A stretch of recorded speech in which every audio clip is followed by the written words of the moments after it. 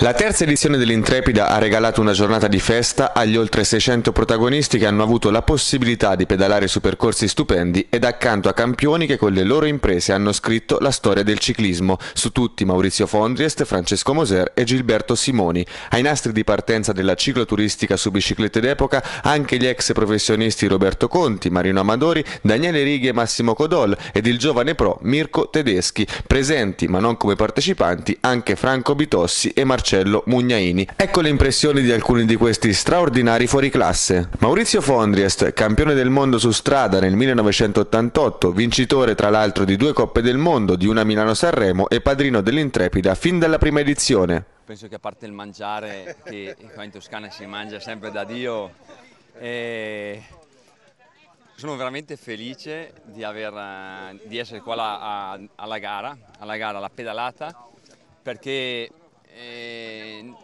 penso che non l'ho mai fatto con la bici da corsa tutta questa strada sterrata in mezzo, in mezzo alla natura, ristori così, no, veramente eh, stupenda. Pondriest ha partecipato all'Intrepida vestendo una splendida maglia iridata ed ha spiegato come il ciclismo negli ultimi anni sia profondamente cambiato. L'ho vinto nell'88, quindi molti anni fa, non avevamo più le maglie di lana, però io ho corso con queste maglie di lana da, da piccolo fino, fino a dilettante e quindi anche con queste bici col cambio, col cambio sul, sul, tubo. E a volte ti chiedi come facevi a, a correre, cambiare, cambiare in maniera precisa, scattare, quindi pensare a che rapporto dovevi mettere prima di scattare, quindi e dovevi essere un artista. Vinsi il mondiale con, eh, con l'Alfa Lum eh, Legnano.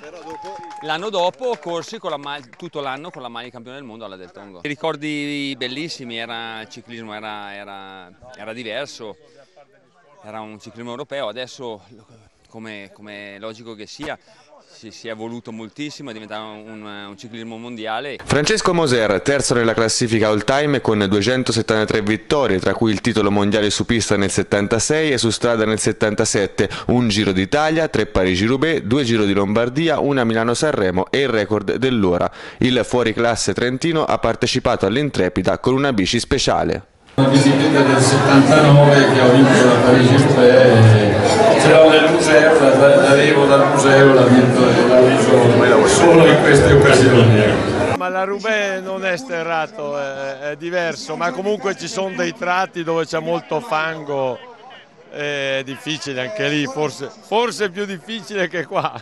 Ecco le sue sensazioni al via della cicloturistica anghiarese. Siamo pronti ormai, siamo concentrati sulla partenza e, eh, e poi vedremo sto percorso. E la sua opinione sulla salita di Scandolaia? Per fortuna che è corta perché è durina. Franco Bitossi, due medaglie ridate su strada e 171 vittorie da professionista, tra cui 21 tappi al Giro d'Italia e due Giro di Lombardia. Il cuore matto del ciclismo italiano non ha preso parte alla pedalata, ma ha seguito con grande passione ogni attimo della giornata. Ma non corro perché sono andato poco in bicicletta e quindi non voglio rischiare in strade bianche così, non me la sento. Eh. Gilberto Simoni, vincitore per due volte del Giro d'Italia e sette volte sul podio complessivamente nella corsa rosa. È Ecco il suo racconto di questa splendida edizione dell'Intrepida. Una giornata così poteva andare solo che splendidamente, insomma un'emozione unica per me e anche un po' la prima gara mi sembrava di essere tornato bambino perché